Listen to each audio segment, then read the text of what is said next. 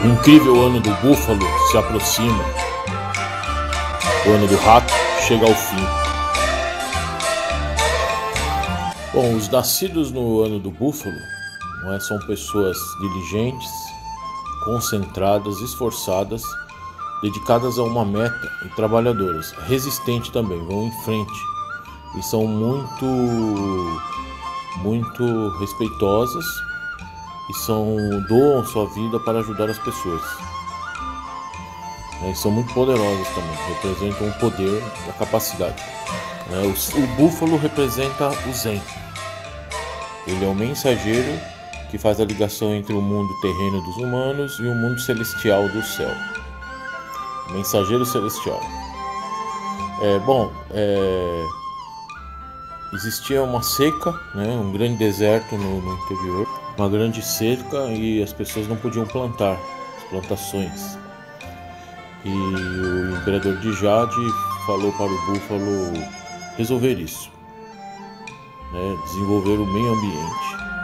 E o búfalo imediatamente quis ajudar, se pôs a ajudar. Começou a plantar grama em todo o deserto. Plantou e irrigou diligentemente sem desistir. Um búfalo mágico e guerreiro que ajuda o, os seres humanos. Ele encheu o deserto de grama, porém essa quantidade enorme de grama atrapalhou os seres humanos e sua colheita. Eles reclamaram ao deus imperador de Jade. O imperador de Jade ficou furioso e acabou penalizando o búfalo, jogando ele na terra de uma vez, tirando o poder divino do búfalo. Ele caiu no solo, de cara, e quebrou os dois dentes da frente.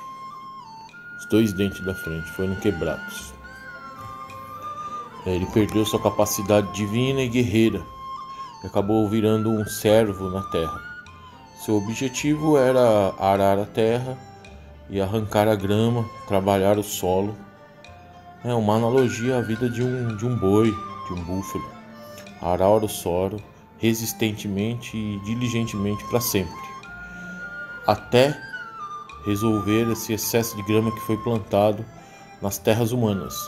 E aí, com o seu trabalho dedicado, ele, os seres humanos puderam plantar e colher muitos grãos e acabaram virando devotos do deus Búfalo, admirando ele.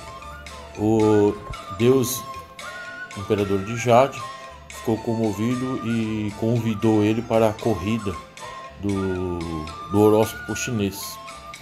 E ele acabou vencendo quase essa corrida, se tornando um dos, um dos 12 animais.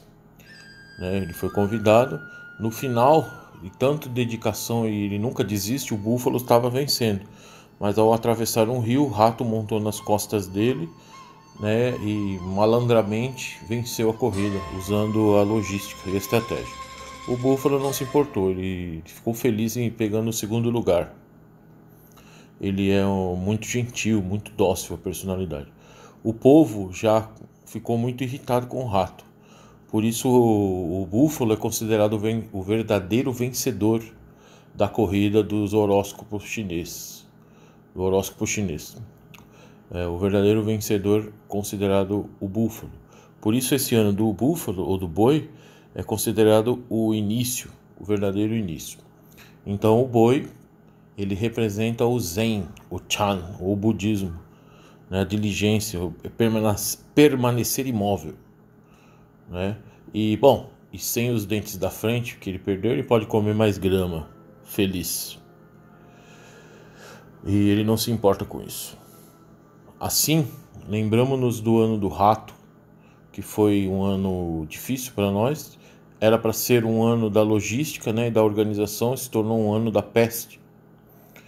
Ficamos presos dentro de casa e foi muito difícil para todos nós.